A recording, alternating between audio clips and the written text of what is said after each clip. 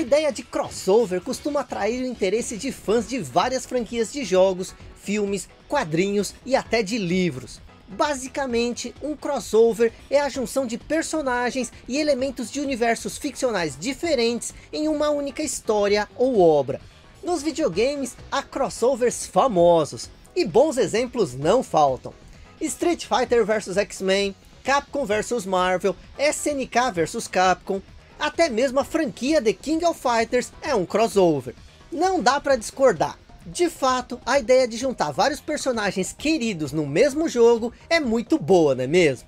E empolga os fãs dos dois lados envolvidos. Mas olha só, o que aconteceria se alguém produzisse um game que fosse um grande crossover não autorizado? Sobretudo se esse crossover envolvesse personagens das franquias de uma empresa que costuma ser bastante dura com suas propriedades intelectuais. E processe qualquer um que use sem autorização. Tipo assim, uma Nintendo. E é justamente o desenvolvimento de um jogo assim que conheceremos no vídeo de hoje.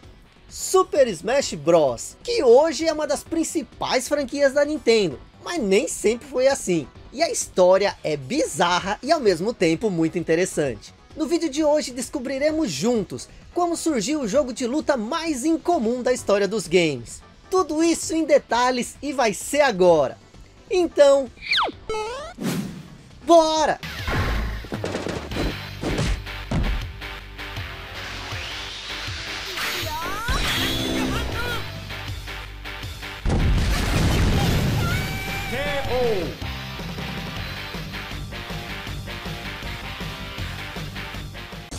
A HAL Laboratory e sua relação com a Nintendo.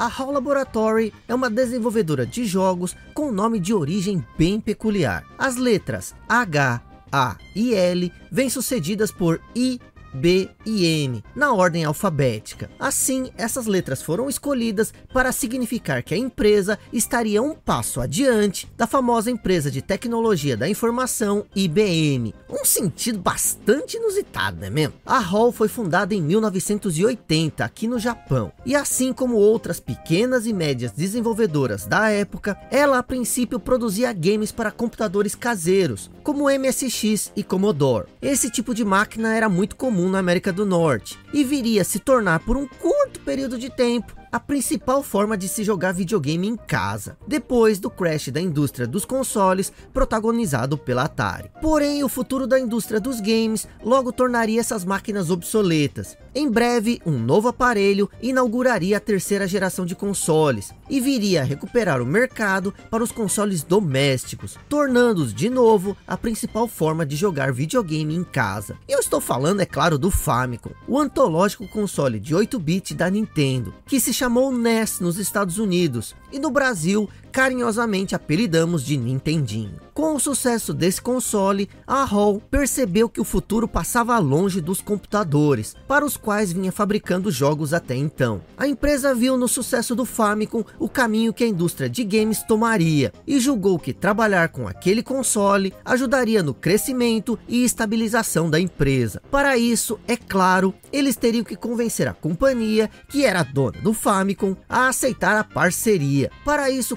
contaram com a ajuda do único programador da sua equipe, Satoru Iwata. Iwata foi um garoto que muito cedo demonstrou capacidade de liderança e ao mesmo tempo interesse imenso em games e programação. Ainda no ensino médio, ele conseguiu comprar um computador, o Commodore PT-2000, e logo em seguida desmontou o aparelho, movido pela curiosidade de entender o seu funcionamento. Assim ele analisou cada componente dessa máquina, sobretudo o seu processador, o MOS 6502, que era bastante similar ao que viria a ser usado no Famicom. Em seguida, ele entrou no Instituto de Tecnologia de Tóquio para estudar ciências da computação. Logo ele conseguiu destaque pela sua velocidade e precisão que programava, e o seu apartamento ficou conhecido entre os colegas estudantes como Game Center Iwata, devido ao tanto de tempo livre que ele se dedicava desenvolvendo e pesquisando jogos e reunindo outros estudantes para tratar desse tema. Se pensar bem, é exatamente o que a gente faz aqui, né? Ainda enquanto estudante, ele levava os jogos que desenvolvia para demonstrá-los numa loja de departamentos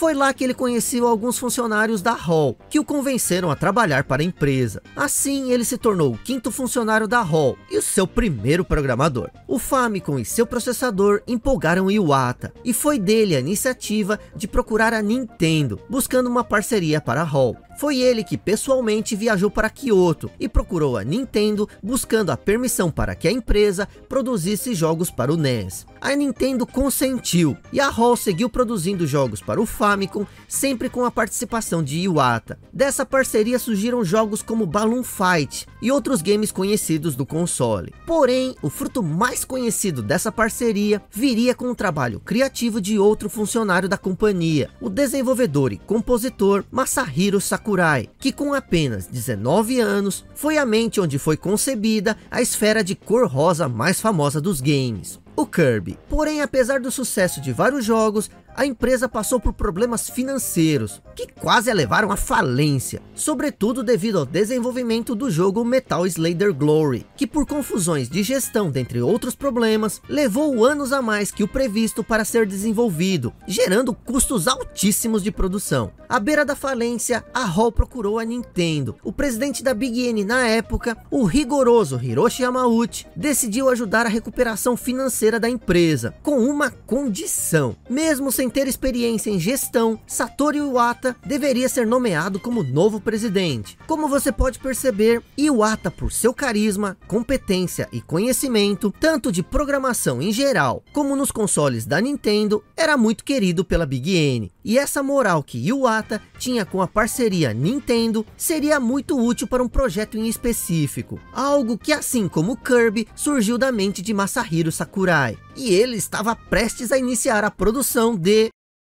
um jogo de luta e um grande crossover.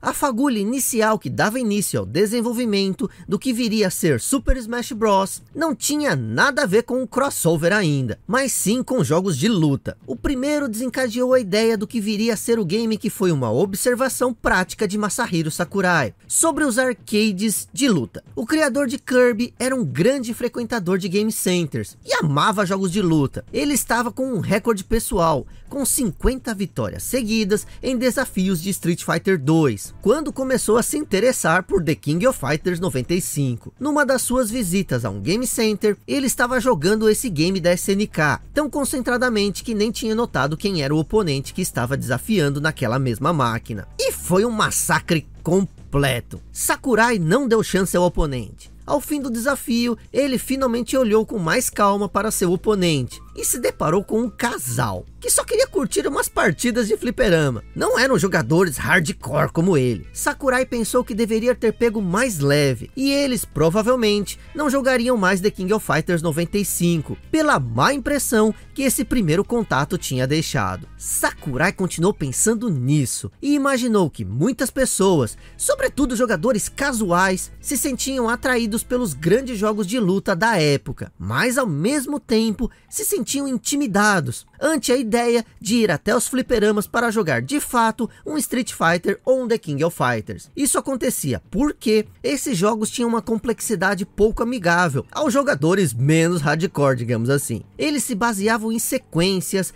combos e especiais complexos. E o ambiente competitivo dos desafios nos fliperamas não facilitava o aprendizado. A qualquer momento, algum viciado no game poderia chegar, te desafiar e fazer você perder seu crédito que mal tinha jogado. Não sobrava tempo para aprender. E esses games não tinham modo de treinamento, como nas plataformas caseiras, por exemplo. Devido a essas observações práticas, Masahiro Sakurai imaginou que existia um público de jogadores que se sentia atraído por jogos de luta, mas não queria dominar jogabilidades complexas ou disputar campeonatos competitivos. Uma galera que só queria pegar o jogo de luta, se divertir e nada mais além disso. Por isso ele pensou em produzir um jogo de luta com jogabilidade simples e divertida para um console caseiro, visando alcançar justamente esse público, e imaginava que fosse um tamanho considerável. Porém, apesar de estar disposto a desenvolver essa ideia, a verdade é que ele tinha pouco tempo para ela, pois estava trabalhando em outros projetos, e ele trabalharia sozinho, e teria apenas o seu tempo livre, pois era um projeto à parte do que ele estava fazendo. Ele logo precisaria de ajuda, sobretudo com a programação do jogo,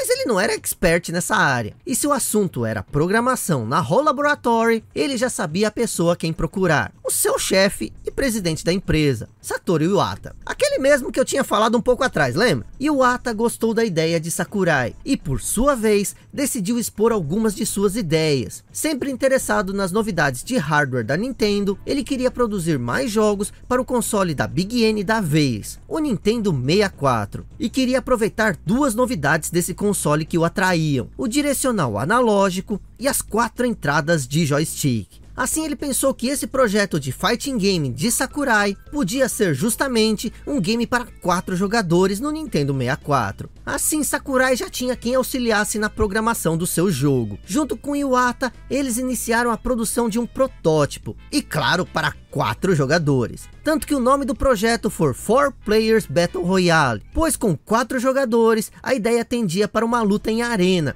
em que o último sobrevivente venceria. Essa tendência foi bem recebida por Sakurai, pois ele queria que seu game se destacasse entre os jogos de luta, para além das diferenças que ele já havia pensado para a proposta. Mas inovar num jogo de luta implicava em aparentemente ignorar o que vinha sendo feito em geral, nos maiores jogos desse gênero naquele período. No início a história dos jogos de luta não tinham padrões estabelecidos no gênero. Assim, naturalmente, os desenvolvedores tinham um terreno mais amplo para inovar e experimentar ideias diversas, que podiam dar certo ou se mostrar estranhas ou quase ridículas mas à medida que o gênero ia ganhando títulos de sucesso, as desenvolvedoras tendiam a tomar características desses jogos como base, para produzir outros. Seguindo essa tendência, Street Fighter 2 chegou em 1991, e com seu sucesso acabou servindo de padrão e sedimentando as bases para muito do que viria a ser feito dali em diante. Desse modo, se alguém quisesse inovar significativamente nos fighting games, teria que pensar como se muito do que havia no gênero não existisse. E embora Sakurai considerasse os jogos de luta que existiam como pérolas de sabedoria dos seus predecessores, ele estava disposto a essa tarefa. Assim, Sakurai e Iwata projetaram o jogo seguindo a ideia de arena. Não haveria barras de vida, como a maioria dos jogos de luta. Ao invés disso, o jogador perderia se fosse lançado para fora da arena. O último a restar nela seria o vitorioso. Mas apesar da ausência das já tradicionais barras de vida, cada jogador teria uma contagem em forma de porcentagem, que crescia à medida em que ele tomava porrada. E era a porcentagem de chance que ele tinha de cair da arena com os golpes. Com essa porcentagem alta, mesmo golpes fracos poderiam lançá-lo para longe da arena, onde armas poderiam ser encontradas para incrementar a porradaria. A ideia parecia original, mas há quem veja uma influência de outro game no desenvolvimento de Super Smash Bros. E se trata do jogo de Out Foxes, arcade de luta baseado em arena, e lançado pela Namco em 1995. Porém, nem Sakurai, Iwata ou qualquer outra pessoa envolvida posteriormente no projeto jamais confirmou essa influência. Com o protótipo pronto,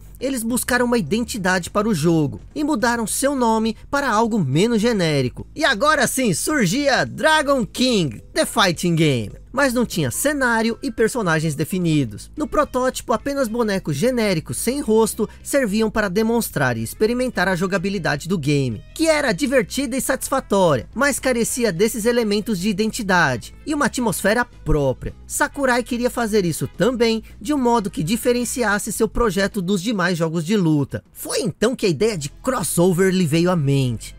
Finalmente, né? Na busca de uma ideia para a atmosfera do jogo, ele pensou nos jogos da empresa, mas não só isso. Assim como Iwata, Sakurai era antes de tudo um gamer, e ele amava os personagens da Nintendo, e gostava da ideia de trabalhar com eles e misturá-los. Desse modo, já estava decidida qual seria a atmosfera e identidade dos games. As franquias e personagens da Nintendo. Assim, sem qualquer permissão, ele decidiu substituir aqueles lutadores sem faces por personagens de diversos games da Nintendo. Satoru Iwata também gostou da ideia, mas manteve o projeto apenas entre ele e Sakurai, pois queria que o jogo que estava programando já tivesse polido e fluindo, bem antes que alguém soubesse que ele estava utilizando personagens da Nintendo sem autorização. Eles seguiram trabalhando desse modo, até que o projeto chegou num ponto em que eles estavam satisfeitos com o funcionamento do game. Era hora de literalmente abrir o jogo e mostrar à Nintendo o que eles estavam produzindo. Afinal, eles precisavam do aval da Nintendo para lançar um game com personagens da empresa. Se alguém da Hall Laboratory poderia ajudar a convencer a Nintendo de algo,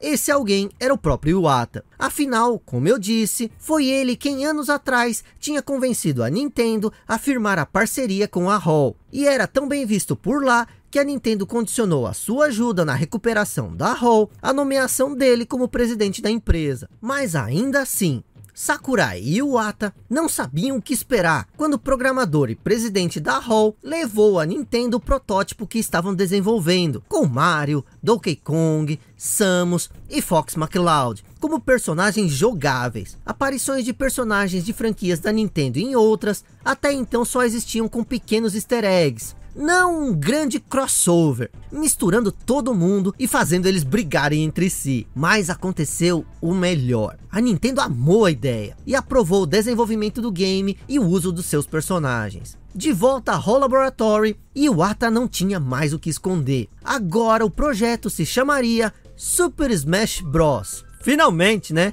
E era oficial. Um game em desenvolvimento com uma equipe maior do que apenas ele e Sakurai. E o Ata agora passaria a posição de produtor do projeto e receberia auxílio do próprio Shigeru Miyamoto, que dispensa apresentações. Aliás, você tá ligado, né? Ele é o criador do Mario e de vários outros personagens e jogos. Uma das pessoas mais importantes da Nintendo até hoje. Sakurai assumiria como diretor-geral do game. E outros funcionários da Hall seriam alocados para programação, arte gráfica e música do game. Nessa fase de desenvolvimento, o que foi feito, além de eventuais melhorias, foi sobretudo criar modos multiplayer e mudanças para deixar o jogo ainda mais com cara de Nintendo. Além dos personagens, as arenas em si, as armas e itens que surgiriam aleatoriamente nelas fariam referência a jogos da Nintendo, inclusive jogos cujos personagens não estavam em Super Smash Bros. Sakurai tinha o público japonês em mente, o público de um país em que na época do Famicom, uma em cada quatro casas tinha um exemplar do console. Assim, no Japão, os personagens e jogos da Nintendo eram bastante populares, e por isso Sakurai pensava que todos esses personagens e referências aos jogos da empresa ajudariam Super Smash Bros a ser bem recebido, criando a sensação de familiaridade do público japonês. A trilha sonora, por exemplo, ficaria a cargo do compositor veterano Hirokazu Ando, responsável pelas trilhas sonoras de muitos jogos da Hall, e ele utilizaria as músicas já existentes nos games da Nintendo, apenas trocando o arranjo delas em alguns casos. Os efeitos sonoros do game também seriam pensados no modo a fazerem referência ao universo dos jogos da empresa. Assim o desenvolvimento seguiu, polindo a jogabilidade, até que ela ficasse bastante fluida e divertida ao mesmo tempo em que recheava de elementos diversos de vários jogos da Nintendo. Até que em 21 de janeiro de 1999, o jogo finalmente foi lançado. Era hora de Masahiro Sakurai e Satoru Iwata colherem os frutos do seu trabalho. E eu estou falando da recepção e legado de Super Smash Bros. A percepção de Sakurai sobre o mercado japonês estar familiarizado com personagens da Nintendo estava correta. Também estava correta sobre um público que demandava jogos de luta mais casuais. E o jogo que ele entregou era divertido e funcionava muito bem em termos de jogabilidade. O resultado não podia ser outro. Super Smash Bros foi um sucesso de crítica e sobretudo de vendas. A campanha single player do jogo se esgotava rapidamente, mas diversos modos multiplayer garantiriam horas intermináveis de diversão. A princípio, esse jogo foi feito apenas no Japão, mas com todo esse sucesso, a Nintendo pensou que também nos Estados Unidos, seus personagens estavam sedimentados o suficiente no imaginário do público para que o jogo se popularizasse. Por isso decidiu lançar o game também naquele país, o que aconteceu três meses depois do lançamento japonês. Mas não sem nenhuma censura por parte da Nintendo da América, como de costume. Dessa vez a empresa achou meio forte, que aqueles personagens que vendia ao público americano, como jogos para toda a família, estivessem trocando socos, por isso trocaram os efeitos sonoros dos golpes por outros mais cartunescos, digamos assim. E o sucesso na América veio também. E ainda no fim daquele ano, o jogo seria lançado também na Europa. Super Smash Bros. crescia a ponto de se tornar uma das principais franquias da Nintendo, e futuramente seus jogos envolveriam personagens muito além dos que eram propriedade restrita da empresa. Jogos da franquia se tornariam até mesmo esportes, embora muitos jogadores torçam o nariz para essa classificação como jogo de luta, devido às suas diferenças em relação aos principais games do gênero. Masahiro Sakurai sairia da Hall e montaria sua própria companhia, a Sora, de onde continuaria dirigindo o desenvolvimento de todos os games da série Super Smash Bros. Satoru Iwata iria para a empresa onde era tão querido, a própria Nintendo, e com a aposentadoria de Yamauchi em 2002, se tornaria o presidente da empresa. Sob sua gestão, a Nintendo cresceria financeiramente e desenvolveria os consoles Nintendo DS e Nintendo Wii. Na verdade, para dar uma ideia da importância desse cara para a indústria dos games, eu teria que fazer outro vídeo. E infelizmente ele nos deixou cedo demais. Uma doença o levou de nós, quando ele tinha apenas 55 anos. Assim eu gostaria de terminar esse vídeo com uma nota de homenagem a Satoru Iwata. Ele dizia, abre aspas, no meu cartão de apresentação, eu sou presidente de uma corporação. Na minha mente eu sou desenvolvedor de jogos, mas no meu coração eu sou um gamer. Com a sua morte, ele recebeu homenagens de pessoas ligadas à indústria dos games no mundo inteiro. A sede da Nintendo manteve suas bandeiras a meio mastro, e suas cerimônias funerárias duraram dois dias. E apesar do clima tempestuoso causado por um ciclone, mais de 4 mil pessoas compareceram a elas, incluído o velho amigo Masahiro Sakurai, com quem anos antes ele tinha desenvolvido o jogo cuja história conhecemos hoje, Super Smash Bros. Mas como sempre o vídeo não acaba por aqui. Eu quero saber de você, qual a sua história com Super Smash Bros? Eu tô muito curioso, me fala aí nos comentários.